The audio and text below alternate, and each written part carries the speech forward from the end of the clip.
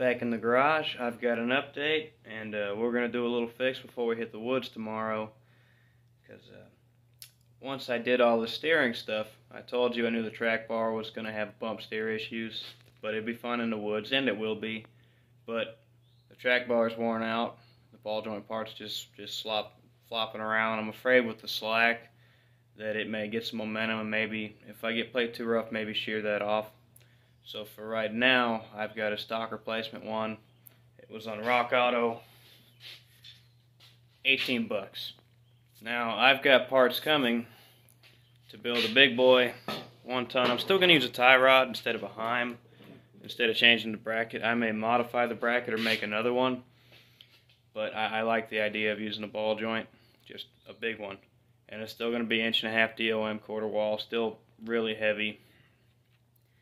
I should still have okay clearance where I'm going to put it with my 3 inch lift, but I, I think I'm going to go ahead and get some 4.5 inch springs and go up a little higher. I, I can go up exactly like one and a half inches before I can't get it in the garage. So that's uh, that's where I'm going to cut it off for right now, four and a half inches. But see, I've got the one-ton tie rod coming. I've already got the DOM, and I've got a an Artec a relocation bracket. It moves it higher up. It shortens it a little bit, which is not great, but you can't go higher where it's at because the spring's right there. It'll hit. So I've got that coming too, and we'll do a build video on that. But I drove it today down the highway. It, on the back roads, it was a little sketchy. On the highway, it was really sketchy, especially since I don't have any sway bars.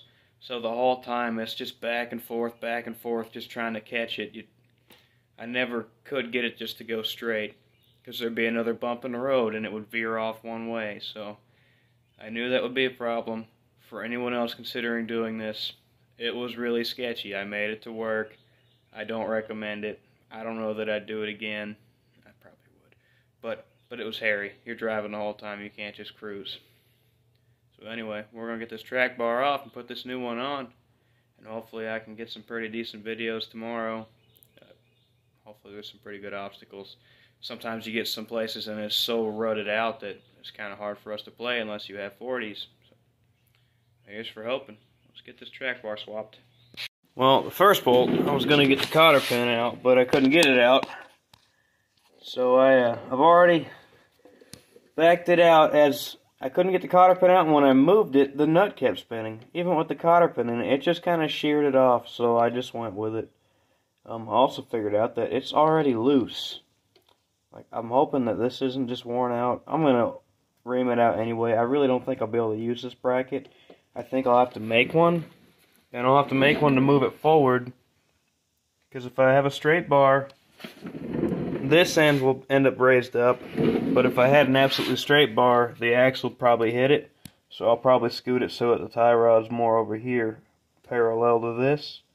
But just enough out of the way to clear it when, when this is straight.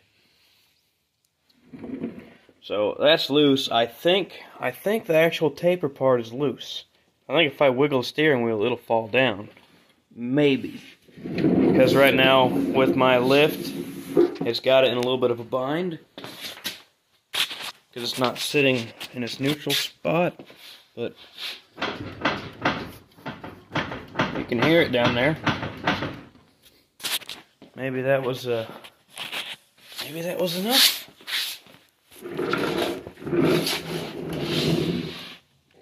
No. Alright, I got it.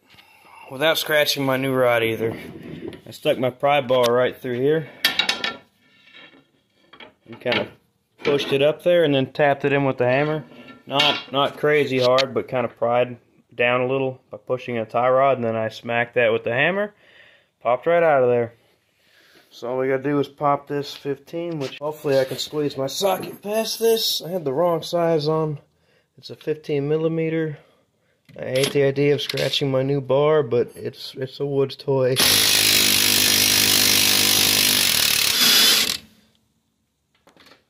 Oh man, it was pristine. Alright, that should fall out.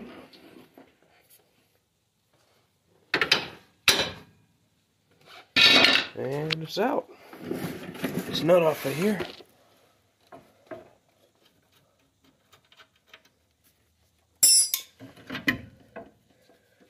Hopefully the new one's the same. It looks like it was pretty close.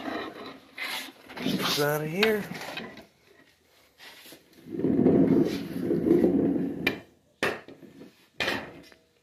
Well, dang, what did I do with it? Ah, there we go. There's our old one versus the new one. It's like it's got slightly different bends, but it's it's not an OEM part. It's really close. It's gonna work better than this one.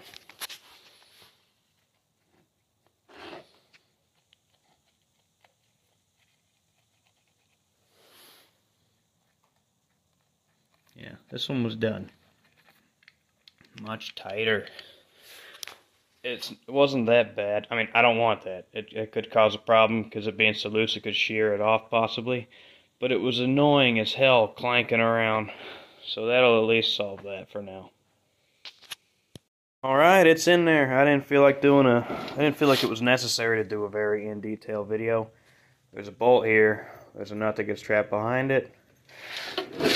Ball joint up there. I still got to tighten all this stuff, obviously, but... So be looking forward for my next build. I've got the parts ordered. I'm going to have to borrow a welder, a MIG welder to use at home to weld on the new track bar relocation mount. Welds to the axle and I'll cut all that crap off. And I'm, I don't know when that stuff's coming. Some of it's coming from Ruff Stuff in California, so that, that might be a week till I get it. So keep an eye out for that. That'll finish off all my steering linkage, track bar stuff for the front. I've still got to do a track bar in the back, but I think I'm going to hold off. Because I've been looking at how much it will cost for me to do long arm stuff. And I've got this 8.8 I want to put in with the 410 gear. Obviously I'll have to swap the, the gears in the front too. I wanted to do a high pinion, but I may just throw gears in that for now, just because it's there. Um, it's not the cheapest thing, but just a, a gear assist, not the end of the world. A couple hundred bucks. But Iron Rock's got a triangulated four-link kit, and then I won't need the track bar. So I don't want to invest in a track bar if I want to go that route. Now, I wanted to build everything, but I can't build it anywhere near as cheap as they've got that kit. it'll swap in my axle with the truss, the long arms, the subframe, everything. So I'm going to go with that because by the time I priced it all out, I can't do it. And all the time in engineering, I can't do it that cheap. So I'm just going to do that. Just the steering setup. I built it. I did it my way, but it was 360 something bucks for all these parts and the DOM and shipping. Well, that's it. I just didn't want to leave everybody hanging. It's been about a week since I released the video after the WJ knuckle swap. Um, the brakes, I didn't mention those. Great. Before I could get all over the brakes, it didn't want to stop. Had decent pads, it was okay. With these, like the first couple times, sucked, and I was like, well, well, this is great. It's not much of an upgrade, but the the rotors had this weird coating on it. I guess it's to break it in, whatever. Anyway, after the fourth, like the, the third time I hit the brakes, the fourth time, holy crap, this thing stops. So much better. I, I have confidence in it now. I didn't before. I, you'd never sure. You got to keep lots of room with 33s and those stock crap brakes. But now it will stop. So very happy with that. So it, if that's the only thing you want this swap for is for the brakes, it's well worth it. Anyway, just want to give you all an update. It's going to be a little while till my parts come in to do the next video. And we'll figure out what we're going to do after that. Please like, subscribe, and thank you for watching. Couldn't stand it. We're going to try this.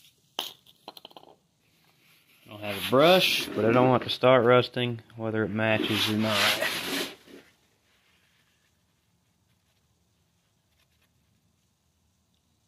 Ta-da! Fixed. Now my OCD can calm down.